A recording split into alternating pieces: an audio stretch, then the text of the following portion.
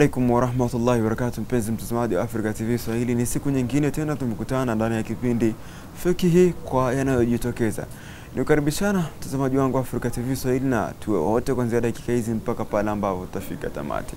Ni Ibrahim Musa yule, ukipenda niite mzee utumishi. Niko na Sheikh Abu Hamza. Sheikh, salamu alaikum. Salamu warahmatullahi wabarakatuh. Karibu sana Sheikh, na uweze kuwa mkuu wa watazamaji. Assalamu alaikum warahmatullahi wabarakatuh. Alhamdulillahi rabbil alamin wassalatu wassalamu ala ashrafi alanbiya walmursalin nabiyina Muhammad wa ala alihi wa ashabihi wa man ihtada bihadi wa taba atharu ila yawmiddin amma ba'd. Naam. Shukran sana Sheikh, eh, hakika tumetoka mbali sana mpaka leo hii kufikia kipindi cha kumi ikiwa lillahi alhamdu. Uh, mengi sana ambayo tumezidi kuyatizama ambayo yanajitokeza karne hii na zama hizi. Leo hii sijui kuna jambo gani ambalo tutalifahamu. Uh, kuna kule kuingia kwenye swala sasa, ashapata udhu, amekuwa tahara, akaingia kwenye swala na huku akawa ana harufu ya sigara. Je, e, ile harufu mbovu ile e, mtu kuhudhuria swala na huku amevuta sigara eh, kwamba yafaa faa aweza mtu kuingia kwenda msikitini na huku anuka maharufu ya sigara. Uh, kulingamana na hadithi ya mtume sallallahu alaihi wasallam aliposema man akala thauma au basala falyatazil musallana walyaqud fi beitihi faina almalaikata tataadha mima yataadha minhu banu adam. Hadithi katika sahih muslim kwamba mtume sallallahu alaihi wasallam asema yote mwenye kula saumu au kitunguu hutafuna amekitafuna kile kitunguu kasa ina harufu mbovu kwenye kinywa. Naepuke miswala yetu na kae nyumbani kwake kwa sababu malaika wanaudhi, wanaudhika na vile vitu ambavyo vinaudhi audhi binadamu. Hadithi iko katika muslim. Sasa na mtu anayevuta sigara kiasi sasa hiko kinakuja. Ndio tukasema ule msingi wa kupima mambo ya kisha- kisharia kwamba lazima tuwe nayo uh, ili tusaidie. Sasa kama kila mara manake tukitaja hukumu tuonyesha ile hukumu imetoka kivipi. Sasa kwa sababu wakati wa mtume hakukuwa na sigara. Hiki ni kitu kimejitokeza sasa hivi kwa nini? Na mtu mwingine humaliza sigara vile mbele mla, karibu na mlango wa msikiti ndio akatupa akaingia ndani ya msikiti. Na harufu harufu mbaya. Huyu anakatazwa kuingia kwenye msikiti. Lakini kule imetajwa ni kitunguu kimetajwa na thaumu kimetajwa kwa sababu gani? Harufu mbaya. Kwa hivyo harufu mbaya na mwenye sigara huwa ana harufu mzuri? Ana harufu mbaya. Ila ya kuharamishwa huyu kukatazwa asiingie katika msikiti Harufu mbaya. ni harufu mbaya. Na huyu mwenye, mwenye kuvuta sigara ni harufu mbaya. Kwa hivyo kukatazwa yule mwenye ku- kula, kula, kula, kula saumu na, na kitunguu asiingie msikitini kwa sababu ile harufu mbaya inatoka kwenye kinywa chake. Na mwenye kuvuta sigara naye ana harufu mbaya inaotoka inaotoka kwenye, kwenye, kwenye, kwenye, kwenye kinywa chake. Kwa hivyo hukumu yao ni hukumu moja kwa sababu uh, lile lilokatazwa lile lilokatazwa kwenye zama za mtume na hili ambayo limejitokeza sasa ambayo halikuwepo katika zama za mtume zimeshirikiana katika ila gani? Ila moja ni ipi? Harufu mbaya. harufu mbaya. Sasa hii ndio kiasi na ndio alioitumia shekh abdulaziz bin baz rahimahullahu taala rahmatan wasia alalama shekh abdulaziz bin baz alipoulizwa masala haya masala ya kwamba uh, mtu akivuta sigara je aweza kuingia uh, msikitini? Akasema la. Akaambiwa ni, ni, ni, ni, asiingie asi, msikitini na maharufu ya masigara sasa ile kule uvutaji wa sigara yenyewe kwanza nao.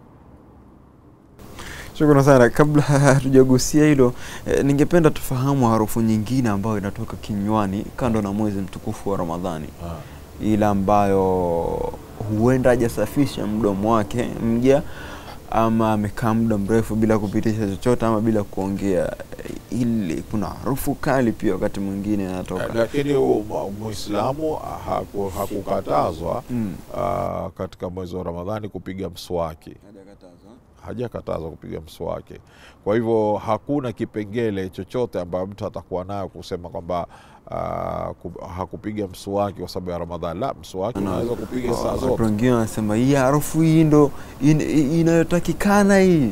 Kwa kwao, ah. anaacha kupiga msafu kwa sababu ile ile inayotoka ndani ya kuwa hukula chakula. Sio sio harufu ya ya kuwa na eh, ya, kuto, ya kutopiga ya kutopiga mswaki kubakisha kubakisha harufu mbaya. La. Kwa hivyo ile ile ile harufu harufu eh, kutumi, utumiaji mwanzo wa, wa hii sigara yenyewe. Kwa sababu kwa sababu ina percentage ya, ya nicotine ndani yake. Inao oh, percentage fulani nisba fulani ya, ya, ya, ya ulevi ndani yake kwa hiyo muislamu kuitumia kwanza hafai. Yenyewe sigara yenyewe kuitumia hafai. Mbali kwamba aitumie kisha aje awaudhi watu ndani ya swala. Watu kama wewe si mtumiaji sigara akija kusimama mtu anayetumia sigara ubavuni mwako utasikia kutapika. Ile harufu ambapo yeye yule anayetumia hahisi hahisi vile unavyohisi wewe kwa hivyo ukitumia usigara kama umeshindwa kuiacha. Ni vizuri uiache kwanza. Lakini kama umetumia basi usi, usi, u, uende ukatafute namna ya kusafisha kinywa chako usiende kuwaudhi watu.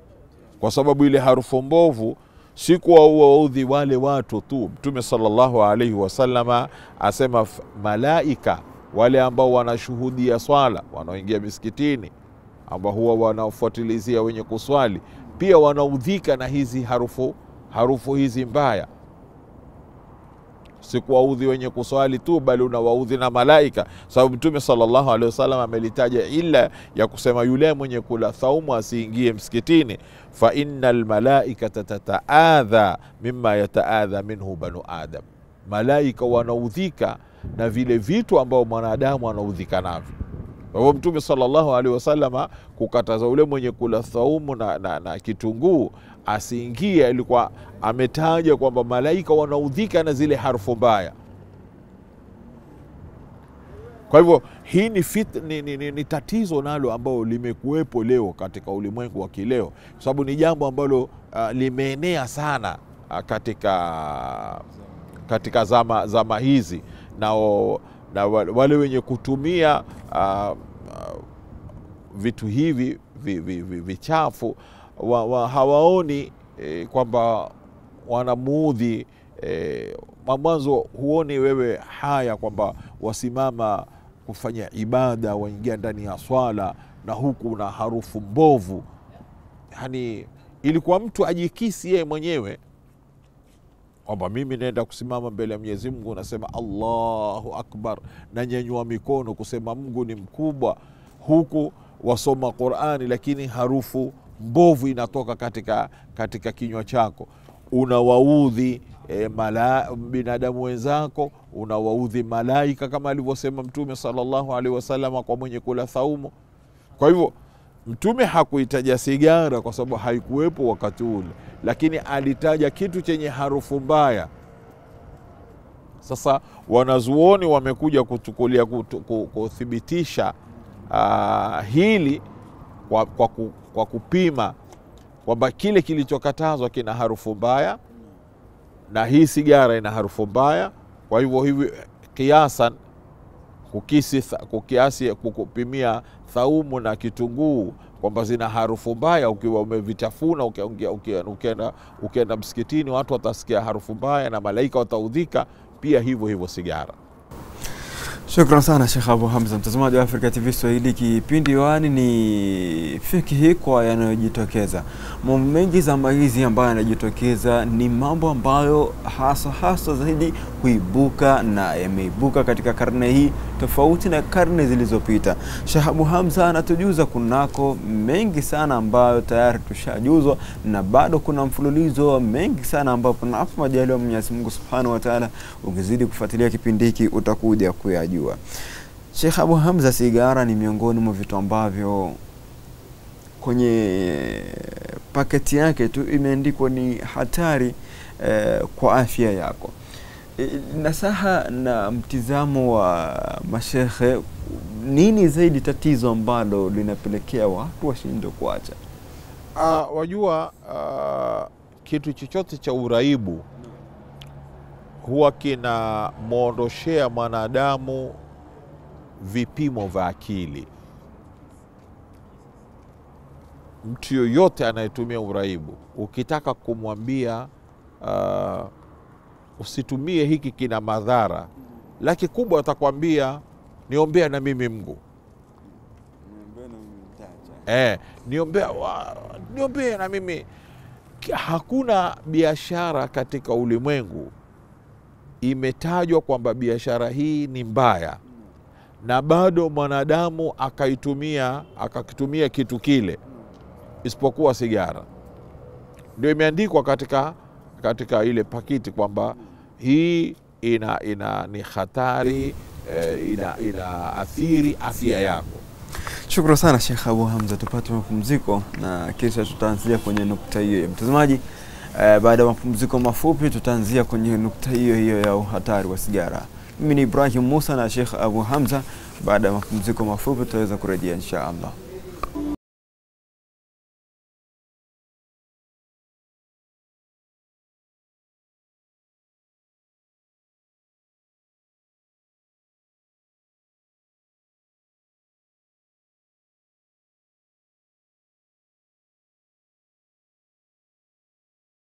Ahlan wasahlan mpenzi mtazamaji wa Afrika TV Swahili, mara tu baada ya kuwa tumetoka katika mapumziko mafupi, tumeweza kurejea tena katika kipindi hiki fikihi kwa anajitokeza Sheikh Abu Hamza, karibu sana. Naam, tulikuwa tunazungumzia kwamba uh, mwanadamu uh, anapokuwa anautumia uraibu, uraibu wa aina yoyote, ukimwambia kwamba uraibu huu uh, inakuharibia akili yako, ina watu wengi wanakufa kwa kensa ya sigara, inasababisha kensa. Uh, mamilioni ya watu wanakufa kila mwaka, mpaka wakalazimishwa wenye kuuza sigara waandike pale, hii ina, ina, inadhuru maisha yako. Bado lakini utamwona mtu anatumia. Kwa nini? Kwa sababu mwanadamu akitumia uraibu humwathiri kwenye akili yake, hawezi akaona ubaya wa kitu kile, hata namna yoyote utajaribu kumkinaisha yeye, wakati inapo inapokuja zile hisia ya kutaka kukitumia kitu kile, ana, ana huwezi ukamkataza. Aweza akaacha shughuli, aweza akakataa akaacha chakula ili aende akapate akapate uraibu. Kwa hivyo uh, si jambo rahisi kuweza kumkinaisha mtu kuacha kitu cha uraibu, kwa sababu huwa kuna a, percentage fulani au nisba fulani katika akili yake imeathirika na kitu kama kile. Kwa hivyo oh, ni vizuri mtu kujiepusha na vilevi vya aina yoyote, asivikurubie, kwa sababu ukikurubia kilevi chochote kikisha kuathiri ya ule ile mzunguko wa, wa, wa, wa damu yako ikaingia katika mapafu yako ukazoea, uh, kutoka sasa inakuwa ni shida. Maanake kuingia utaingia kidogo kidogo kidogo kidogo, mwanzo utatumia moja, kisha mbili, kisha tatu, kisha... na kila siku utakuwa inapanuka, una, unaongeza ile matumizi. Maanake ulevi wowote unaotumia, sawa ni sigara, sawa ni marungi, sawa ni bangi, sawa ni brown sugar, sawa ni cocaine, sawa ni nini, chochote cha uraibu unachokitumia. Ukianza utaanza na dozi ndogo kila siku itaongezeka. Kila siku ita, itaongezeka kila siku itaongezeka. Kisha utajiona umekuwa mtumwa wewe wa uraibu, wa uraibu ule. Yaani huwezi ku, ku, ku, ku, ku, ku, kujikomboa nayo. Wala huhisi ule ubaya wake. Namna wa- watu watapokuyaeleza maake sasa mtizame mtu ana- anayetumia anatumia anayetumia anayetumia sigara zile pesa anazozitumia. Ukifanya hisabu ni pesa ngapi?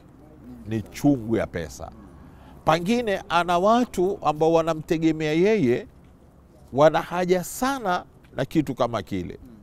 Lakini badali yeye aseme e, pesa hizi nitawapa wale wanaozihitaji au nitaziweka katika mradi ambao utakuwa una, una maana katika au utakomfaa katika akhira yake au katika familia yake ana hitari azichome. Wakati ukimwambia mtu leta chukue hii noti hii ya shilingi tano tuichome atakwambia wewe una, una, una wazimu lakini yeye kuwa huchoma alfu moja haoni kwamba ni wazimu kwa hivyo kuna, kuna, kuna ile wiqaya katika, katika, katika, katika, katika majali ya tib khairu min alilaji yani kuwa na kinga, kutojiingiza katika mambo kama haya ni aula zaidi kuliko kuingia ndani yake kisha ukataka, uh, ukataka kujitoa. Ukisha kuingia Shukran sana. Naam. kujitua ni inakuwa ni, inakuwa ni, shida sana. sana. Shukran sana Sheikh Abu Hamza, mpenzi mtazamaji wa Afrika TV Swahili. Kipindi wani ni fihi, fikhi kwa yanayojitokeza. E, tuko tunaangalia kunako e, masala ya sigara ambayo hivi sasa imekuwa ni kilevi kikubwa sana kwa jamii e, sio vijana. Zamani sana tulikuwa tunaona watu ambao umri umeenda zaidi, wazee ndio wapo kwenye sigara, lakini sasa hivi ni tofauti zaidi vijana nao wameingia huko, si mchezo, na wakati mwingine subhanallah, mpaka kina mama baadhi Eh, tunawashuhudia. wajua kitu chochote kikianza kutumika kwa watu, maanake baba anamtuma mtoto sigara, kisha anamwambia yule mtoto usitumie sigara, sigara ni mbaya. Akuona wewe ambaye wewe ndio mfano mwema kwake yeye, unatumia maanake hawa watoto kutumia inaku- inakuja, inakuja kivipi? Baba anampa mtoto sigara, anamwambia nenda kanivashie.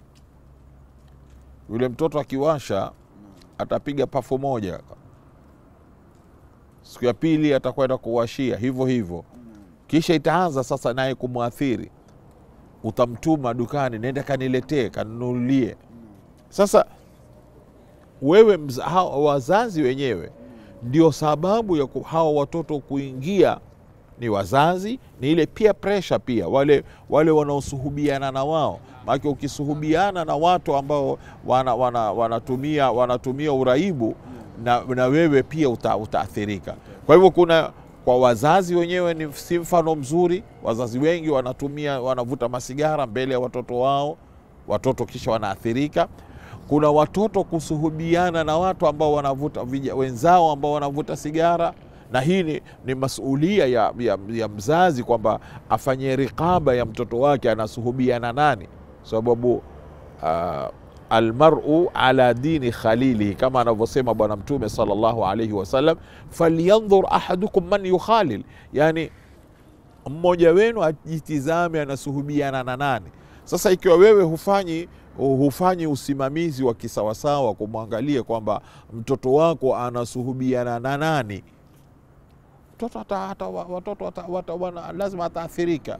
Lakini wewe kama mzazi ikiwa, ikiwa una unamlinda mtoto wako na wewe mwenyewe ni mfano mzuri, hata kama mpangano ume, umeteleza katika mambo kama haya, huyafanyi mbele ya mtoto wako.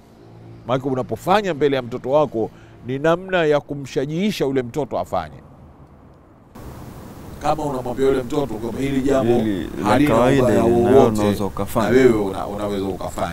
Shukrani sana Sheikh Abu Hamza, mtazamaji wa Africa TV Swahili. Eh, sehemu kubwa zaidi ambayo tuliko tunaangazia leo ni kunako sigara na harufu ambayo inatoka hususan katika swala. Sheikh Abu Hamza, je, katika mkusanyiko wa kijamii nalo likoje swala hili? Unajua, mtu anayevuta sigara akivuta akatoa ule moshi wake kwa watu ambao hawatumii, madhara yake ni makubwa sana kwa wale watu.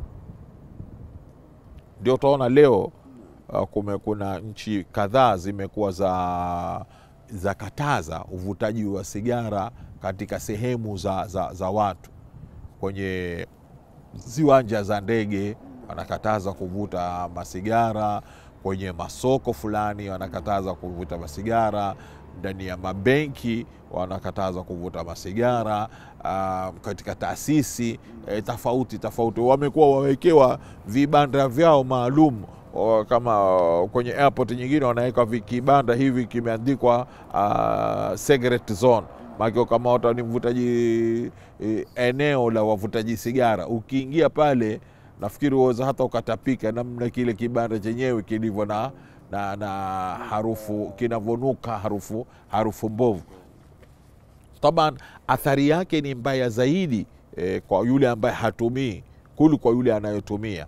Wakati ule, ule, ile, ile, ule moshi unavo- unavo- unavotoka uh, unavotoka unamwathiri zaidi yule mtu ambaye uh, hatumii ile sigara. Kwa hivyo uh, kwanza ni vizuri sisi kama jamii ya Kiislamu tukajiepusha na vitu hivi ambavyo havina faida yoyote na ni vitu vyenye madhara na ni vizuri na, ni, ni, ni, ni njia ya ki, ya kinidhamu pia. Ikiwa wewe umeteleza kama mwanadamu, umekuwa unayo makosa kama haya, usifanye mbele ya watu, kwa sababu ile kudhihirisha makosa ah, mbele ya watu ni kujikithirishia mashahidi mbele ya Mwenyezi Mungu Subhanahu wa Ta'ala.